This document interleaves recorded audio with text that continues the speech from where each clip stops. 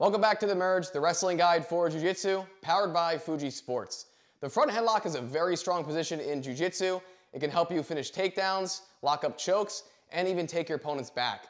I'm gonna show you guys how I like to set up my front headlock entry, bring my opponent down to the ground, and finish the arm in guillotine. The most efficient way that I like to uh, lock up the front headlock is by faking a single leg. And when I fake a single leg, it gets a reaction out of my opponent and it naturally drops his level in his neck and his back and his hips, okay? So I'll be locked up here and my right arm from here will either already be on a collar tie or it'll be on an inside tie, okay? Either or is fine. When I fake a single leg, I'm really selling it, right? So he really feels the danger of a shot coming and it gives him that kind of reaction like this. So I fake the single and if I'm on the inside tie here, my, my hand comes right on the top of the back of the skull here, okay? I'm not coming to the neck. The neck's pretty strong.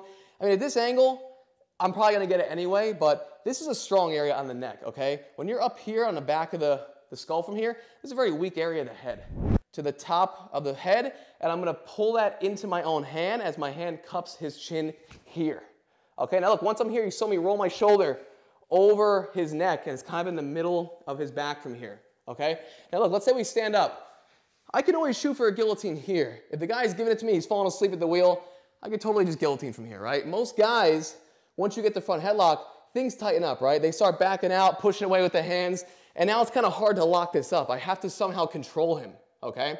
He has a lot of movement on his feet from here. If I go left, right, he follows, right? This way, he can move because he's on his feet. I'm gonna take that away from him by getting him to the mat. Now, I can't just bring him down to the mat easily like this, right? It's not gonna work. And I don't wanna pull him right into my legs like this, where he can take me down.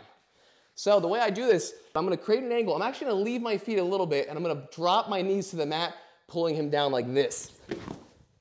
I take away that motion uh, from his feet and now he's on his knees. He can't move around just, uh, just as easily and freely as he can on his feet. Fake the single, he moves, Hand, hands coming to the top of the head, snapping it down, okay? Hands on the tricep from here, and I'm gonna bring him down to the mat. So I'm creating the angle, stepping backwards, knees dropping to the mat, pulling his head to the mat. Here. All right, once we're here, I'm on my toes, putting weight and pressure onto his back. Now here's when I switch to the guillotine, okay? I'm gonna lock my hands up like this, right? Like my four fingers are grabbing the knife and my pinky from here.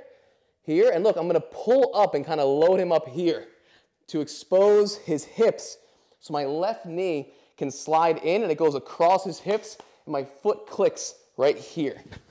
Okay? Once we fall here now, right? This is nice and tight from here.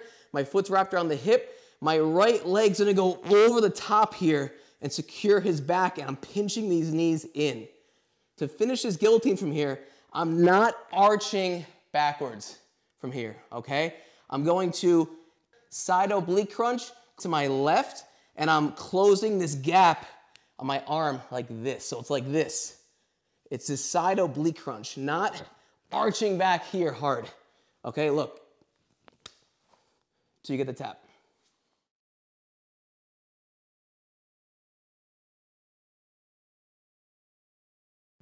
For more episodes, visit themergeonline.com, follow us on social media, and I'll see you guys next Friday.